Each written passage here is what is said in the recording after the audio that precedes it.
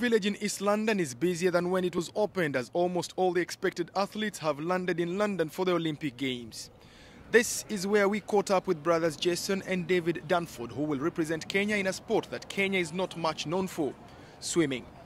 Training has been hard and they hope to reap the rewards. My training, my times in training have been better than they've ever been before. I'm very happy with how my stroke has come together. Since the last Olympic Games in Beijing in 2008, Jason Dunford has been working hard to improve his fifth place finish.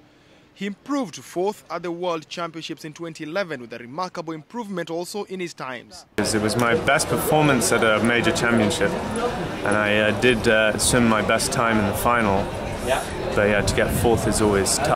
Jason's brother David believes he will set the pace for his brother as he will be the first one to compete in the 100 meter freestyle on Tuesday before both jump into the pool on Thursday, David in the 50 meter freestyle and Jason in the 100 meters butterfly. He's never one to back down from a challenge and so he's he's always pushing me to do better. He's always improving, which makes me always want to improve. And as the two swimmers walk away, their confidence levels are quite high, an indication of just how ready they are for the Games. It's not often that Kenya sends swimmers to high-level competitions like the Olympic Games, but brothers Jason and David have been representing Kenya for the last five years. They say that the first hurdle is to get to the finals. Once they do that, then a podium finish is not very far off. Mike Okinyi for Sunday Live, London, United Kingdom.